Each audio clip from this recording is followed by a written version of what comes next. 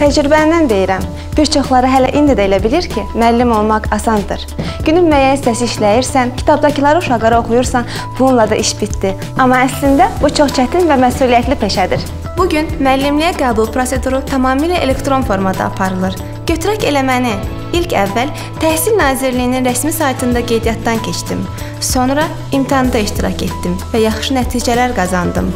Nəticələrimə əsasən məni müsahibəyə çağırdılar. Düzü çox həyəcanlı idim. Amma ixtisasımı yaxşı bildiyimdən o da uğurla keçdi. İndi uğuru burada, sinifdə, lövhə qarşısında qazanmağa çalışıram. Müəllim, şərəfli ad, dəyərli peşə.